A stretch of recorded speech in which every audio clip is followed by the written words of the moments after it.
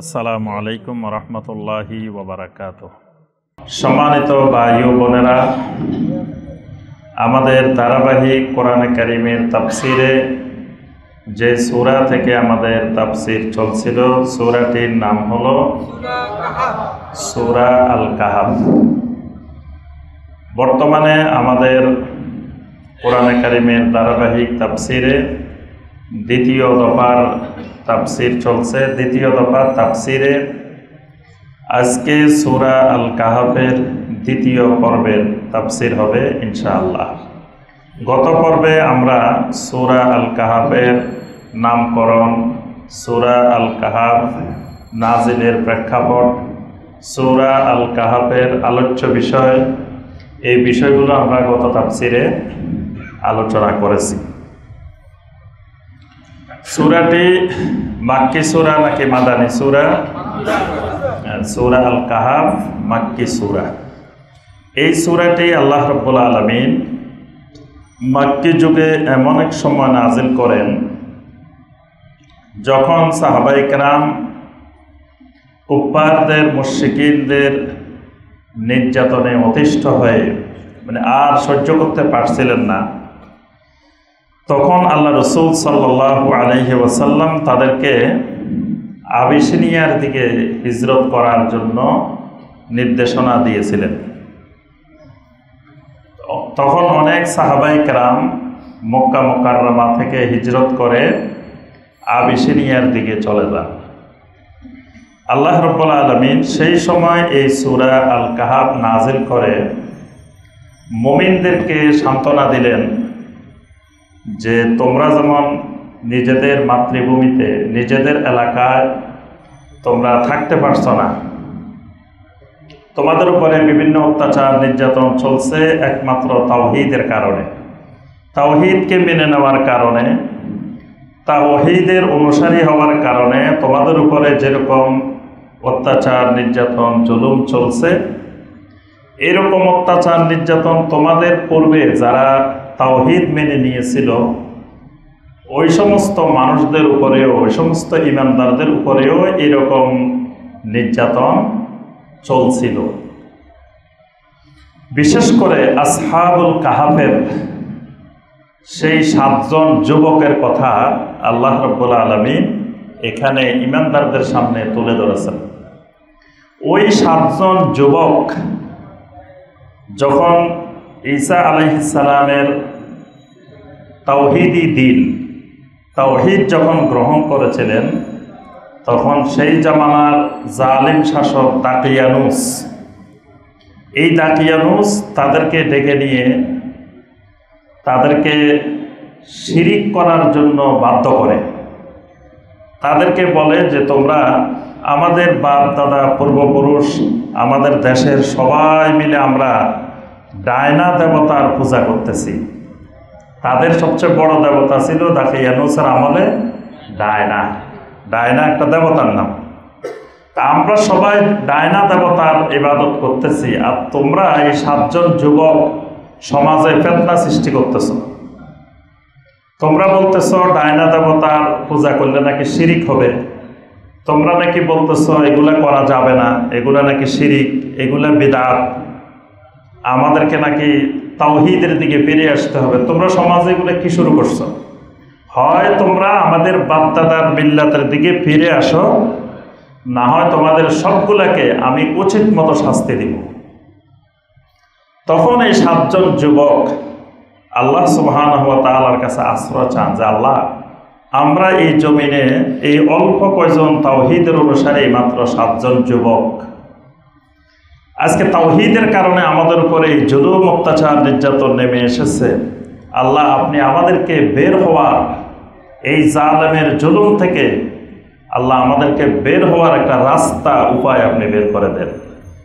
আল্লাহ রব্বুল্লা আলমী তাদের প্রতি এলহাম করলেন যে তোমরা এই জনপদ থেকে বের হয়ে যাও। আল্লাহ তোমাদের আশ্রয় দিবেন। সোহান এই জনপদ থেকে সাতজন যুবক বের হয়ে গেলেন, সাথে একটা কুকুরও বের হয়ে গেল। আল্লাহ রব্বুল আলমিন এই সাতজন যুবককে আসহাবুল কাহাফ বা আসহাবুল রাকিম রাকিম উপত্যকায় এক প্রশস্ত গুহার মধ্যে আল্লাহ তাদেরকে আশ্রয় দিলেন। সোহান এখানে দীর্ঘ সময় ধরে তারা শুয়ে থাকলেন। এবং আল্লাহ রব্বুল আলমিন তাদেরকে জীবিত অবস্থায় ঘুমায় রেখেছেন। তাদের মৃত্যু হয়নি। এবং আল্লাহ সুবাহতালা সূর্যকে এমনভাবে ঠিক করে দিছেন, সূর্য উঠার সময় তাদের শরীরের দিকে একটু আলো দিয়ে মানে পুরোপুরি রোদের তাপ তাদের শরীরের মধ্যে দেন নাই। রোদে কষ্ট হবে এজন্য সামান্য একটু আলো, কারণ আলো না দিলে এই গুহার ভিতরে তারা মারা যাবে, বাঁচতে পারবে না। অর্থাৎ যতটুকু তাদের বেঁচে থাকার জন্য দরকার, এইরকম সামান্য আলো সূর্য উঠার সময়, ডোবার সময়, এই গুহার সাথে আল্লাহ রব্বুল্লা আলমিন সম্পৃক্ত করে দিয়েছেন। সোহান দীর্ঘ সময় ঘুমিয়েছেন। ঐতিহাসিকদের কেউ কেউ বলছেন একশো সাতানব্বই বছর। আর কোরআনে কারিমের এখানে আল্লাহ রব্বুল্লা আলমিন বলছেন যে কেউ কেউ বলছেন তিনশো বছর, কেউ বলছেন তিনশো নয় বছর। এগুলো বিভিন্ন জনের ধারণা। কিন্তু সঠিক কত বছর তাদেরকে আল্লাপাক ঘুমিয়ে রাখছেন, সেই সংখ্যা আল্লাহ সুবান তারা বলেন নাই। তো দীর্ঘ সময় তারা এইভাবে ঘুমিয়ে রেখেছেন ঘুম থেকে হঠাৎ করে একদিন আল্লাহ রব্বুল্লা আলমিন তাদেরকে জাগ্রত করলেন। এখন যে আমলে তারা এই গুহায় আশ্রয় নিছেন সেটা ছিল রোম সম্রাট কায়সার দাকিয়ানুসের আমল। এখন যে সময় তারা উঠছেন এই সময়টা রোম সম্রাট কায়সার তেজশেষের আমল। এটাকে আপনার বিভিন্ন খ্রিস্টানদের বই পুস্তকে লেখা হয়েছে সম্রাট ডায়োজিসিস। আরবিতে বলা হয় তেজশিস এই সম্রাট তেজশিস কায়সার তেজশিসের আমলে তারা উঠছেন, জাগ্রত হয়েছেন। হওয়ার পরে তাদের অনেক ক্ষুধা, দীর্ঘ এত বছর ঘুমিয়ে আছেন, হঠাৎ ঘুম থেকে উঠছেন, অনেক ক্ষুধা লাগছে। একজন আরেকজনকে জিজ্ঞাসা করে, আমরা যে ঘুমাইলাম, কয়দিন হয়েছে কেউ কয়, একদিন হয়েছে কেউ বলে যে, অল্প কিছু সময় ঘুমাইছি। তো ক্ষুধা লাগছে, একজন যাও বাজারে। বাজারে গিয়ে খাবার নিয়ে আসো যাকে খাবারের জন্য পাঠিয়েছেন, তিনি হলেন ইয়ামলি খা তার নাম হলো ইয়ামলি খা তিনি তাদের মধ্যে একটু বুদ্ধিমান, চালাক যুবক। এজন্য সবাই পাঠাইছে, তো তুমিই যাও। যাতে আমরা যে এখানে আসি কেউ টের না পায়। কারণ তো আমরা এখানে আসি তার ফলে আবার এসে আমাদেরকে ধরে ফেলবে। যেই শাসকের জুলুম, অত্যাচারে আমরা এখানে আসছি, তারা যেন জনপদের মানুষ টেন না পায়। তারা তো মনে করছে একদিন আগে আসছে। এখন বাজারে গেছেন ইয়ামলি খা, বাজারে গিয়ে কিছু জিনিসপত্র কিনছেন, রুটি কিনছেন, জিনিসপত্র কিনছেন, কেনার পরে টাকাটা দিচ্ছেন টাকাটা রৌপ্য মুদ্রা, রূপার মুদ্রা। ওই মুদ্রার উপরে ওই সম্রাট দাকিয়ানুসের ছবি আছে।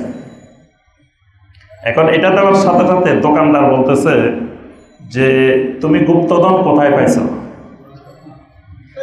এই আল্লাহর বান্দা বলে, আমি কি গুপ্তধন পাইছি? আমি তো টাকায় নিয়ে আসছি, মুদ্রায় নিয়ে আসছি। কিসের গুপ্তধন? কয়, না, তুমি কোনো এক জায়গায় সে দাটিয়ানুসের আমলের গুপ্তধন পাইছে। তোমার কাছে বড় আকারের গুপ্তধন আছে। আমাকে সন্তান দাও। এনি যত বলে যে, না, আমি কোনো গুপ্তধন পাইনি বিশ্বাস করো না তুমি এই টাকা কই পেয়েছ এটা তো সেই আরও দুইশো বছর, আড়াইশো বছর, তিনশো বছর আগের। তুমি এই আমলের মানুষ, ওই টাকা তো পাওয়ার কথা না। তবে আলহামদুলিল্লাহ, উনি, ওনারা যে সময় জাগ্রত হয়েছেন, এই সময় এই জনপদের মানুষ সব ইমানদার। সোহান সব তাওহিদবাদী হয়ে গেছে। এই এলাকার সব মানুষ তাওহিদবাদী, সব ইমানদার। তারাও কিন্তু শুনছে যে তাদের এই জনপদ থেকে একদল যুবক বের হয়ে গেছে। এই ঘটনা তারা শুনছে, কিন্তু তাদের সাথে তাদের দেখা হয়নি। এখন বলতেছে, না, আমরা তো এই জনপদেরই মানুষ। আমরা এখান থেকে বের হয়ে গেছি। আমরা পাহাড়ের মধ্যে গিয়ে ঘুমেছি সব ঘটনা তিনি বললেন। বলার পরে তারা শাসককে খবর দিছে। ওই এলাকার যিনি শাসক, কায়সার তেজশিস তাকে খবর দিলেন। তিনি আসছেন, তিনি এসে ওনাদের সাথে দেখা করছেন। এবং তাদের সব ঘটনা বিস্তারিত, তাদের বাড়ি কোথায় ছিল, তারা কীভাবে এই জনপদ থেকে গুহায় আশ্রয় নিয়েছিলেন, এই সব ঘটনা তারা শুনলেন।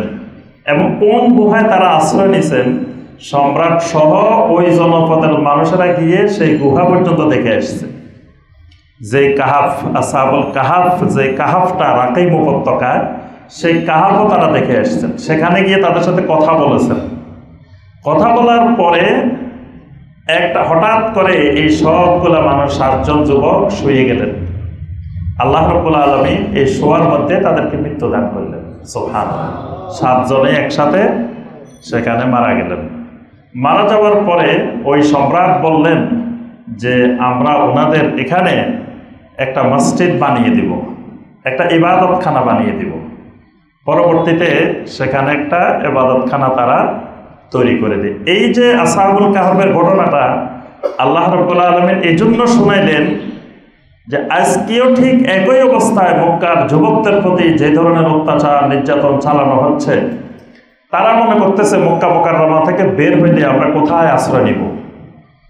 কারণ পৃথিবীর কোথাও এখন তাওহিদবাদী ইমানদার নাই। তা আমাদেরকে কারা আশ্রয় দিবে?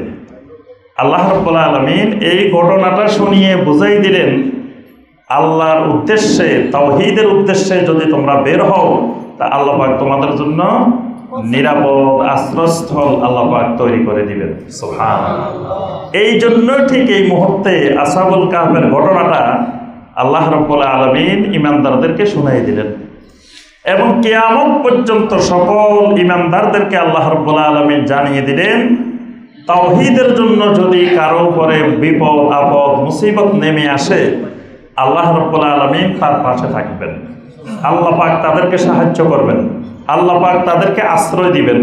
যদি তাওহিদের কারণে কোনো মানুষ কেয়ামত পর্যন্ত এরকম আসাবুল কাহাবের মতো বিপদগ্রস্ত হয়, আল্লাহ পাক তাদের বের হওয়ার রাস্তা উপায় বের করে দিবেন। সোহান আল্লাহ আরেকটি বিষয়, আপনার, আমরা কত তাপসিরা বলছি মক্কা মোকাররমার লোকেরা ইহুদিদের কাছে গেছে, ইহুদি আলেমদের কাছে। মক্কার বড় বড় পণ্ডিতদেরকে সবাই মিলে বুদ্ধি করে, বিশেষ করে নজর বিন হারেস, ওকবা ইবনে আবি মুআইদ, এদেরকে সবাই মিলে বলছে যে যাও, মদিনার ইহুদি আলেমদের সাথে তোমরা একটা বৈঠক করো। আসলে উনি কি সত্য নবী? এটা জানার কোনো পদ্ধতি আছে কিনা? কারণ ইহুদি আলেমেরা তো জানে, তারা এর আগেও নবী সম্পর্কে, তাওহিদ সম্পর্কে তাদেরকে দাওয়াত দিয়েছে, রাসুল সম্পর্কে দাওয়াত দিয়েছে। তাদের কথাবার্তার সাথে মোহাম্মদ সাল্লাহ সাল্লামের কথাবার্তার অনেক মিল পাওয়া যায়। সুতরাং তোমরা গিয়ে তাদের সাথে বৈঠক করো যে মোহাম্মদ সাল্লাম আসলে কি আল্লাহর নবী? এটা আমরা পরীক্ষা করতে পারি কীভাবে? তারা গেল, তাদেরকে ইহুদি আলেমেরা বললে, শুনো, কয়েকটা প্রশ্ন করবে তাকে। এই প্রশ্নগুলোর যদি সঠিক উত্তর দিতে পারে, বুঝবা যে তিনি আল্লাহর নবী। আর যদি উত্তর দিতে না পারে, বুঝবা যে তিনি আল্লাহর নবী না। এক নম্বরে তাকে জিজ্ঞাসা করবা আসাহাবুল কাহাবের ঘটনা সম্পর্কে। দুই নম্বরে তাকে জিজ্ঞাসা করবা রুম সম্পর্কে। তিন নম্বরে তাকে জিজ্ঞাসা করবা, খিজির আলহিসাল্লাম সম্পর্কে। চার নম্বরে তাকে জিজ্ঞাসা করবা জুলকার নাইন সম্পর্কে এই ঘটনাগুলা তিনি নবী না হইলে তোমাদেরকে সঠিকভাবে উত্তর দিতে পারবে না। আর যদি তিনি নবী হন, তাহলে তোমাদেরকে সুন্দর করে এগুলোর সব বিস্তারিত উত্তর দিতে পারবে। এই কারণে তারা এসে নবী সাল্লাহ ইসলামের কাছে এই বিষয়গুলো সম্পর্কে জানতে চেয়েছিল। আল্লাহ রব্বুল্লা আলমী এই সবগুলো বিষয় সুরা আল কাহাবের মধ্যে আলোচনা করেছেন। তাদের প্রশ্নের জবাবে আল্লাপাক জানিয়ে দিছেন, তিনি আসলে সত্যিকারের নবী, সত্যিকারের রাসুল এই ঘটনাগুলোর বিস্তারিত বিবরণ আল্লাহকে এখানে দিয়েছেন।